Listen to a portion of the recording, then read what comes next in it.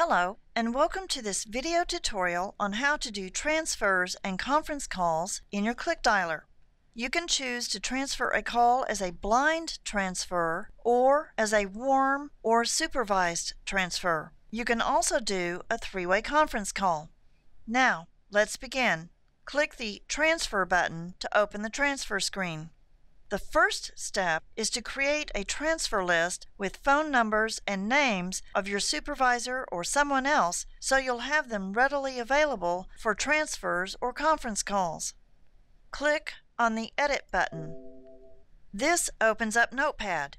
The first time you add entries to the transfer list, you'll see a pop-up window that says it cannot find the transfer file. Click Yes to create the file. On the first line, type in a 10 digit phone number, a space, and then the person's name. Press Enter to go to the next line because only one entry is allowed per line. Note, the phone number must be entered first. Only enter the 10 digit number. Do not enter a 1 in front of it. Also, the person's name must be alphabetical with no numbers. So you cannot have something like Agent 1 in the list. Now, if needed, type in another 10 digit number, a space, and name, and press Enter.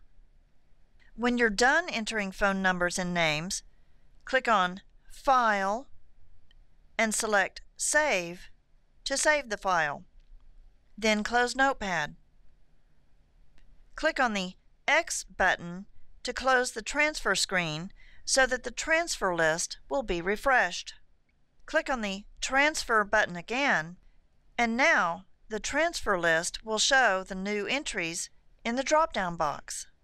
If you need to add to or edit the transfer list later, be sure to save it and close the transfer screen to refresh the drop-down list. Now that the list has been made, you can do transfers and conference calls.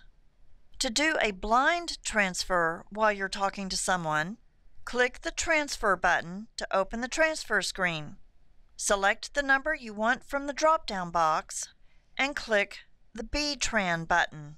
The call will be transferred and you can move on to your next call. The transfer screen will automatically close after you click the B-Tran button. Click the Transfer button again and notice that the number you selected is still showing in the box above the drop-down box.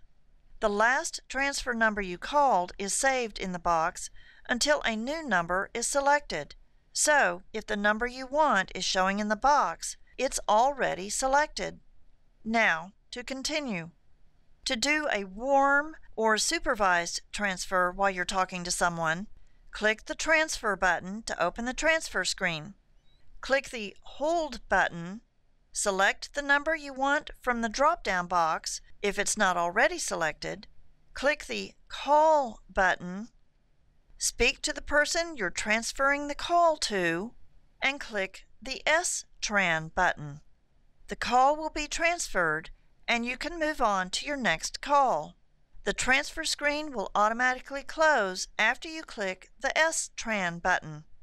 Note, while your customers are on hold, they will hear music or your company's ad. To do a three-way call while you're talking to someone, click the Transfer button to open the transfer screen. Click the Hold button. Select the number you want from the drop-down box if it's not already selected Click the Call button. Speak to the person you're adding to the conference call.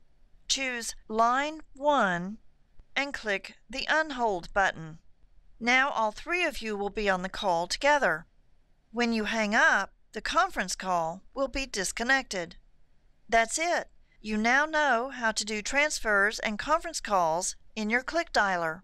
At the end of this video is an outline of the steps for transfers and conference calls in the ClickDialer. Thank you for taking the time to watch this video.